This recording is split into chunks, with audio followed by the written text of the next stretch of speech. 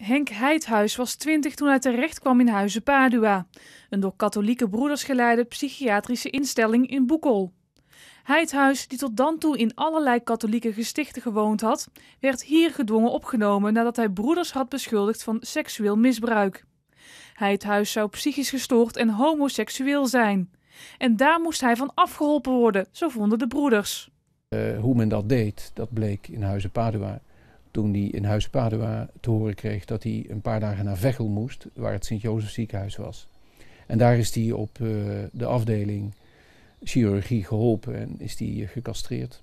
Uit onderzoek blijkt dat Heidhuis niet de enige is die op gezag van de broeders gecastreerd is. In brieven van betrokkenen is er sprake van negen gevallen. Het zijn dus aanwijzingen dat er wellicht inderdaad sprake is dat, ja, dat het vaker gebeurde. En we hebben in elk geval één ander geval uit Sint-Jozef waar het ook gebeurd is. En waar een jongen via de pastoor naar de psychiater ook van zijn homoseksualiteit moest worden afgeholpen.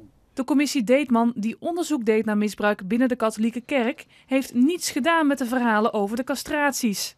Dome pleit voor verder onderzoek om zo te achterhalen hoeveel jongens slachtoffer zijn van de castratiepraktijken op gezag van de katholieke kerk. Het is natuurlijk een illusie om te denken dat er in die hele geschiedenis in Sint-Jozef maar twee jongens gecastreerd zijn. Het, ligt voor de hand dat dat meer jongens zijn geweest. En ook elders in het land hoor. Het is niet alleen Sint-Jozef.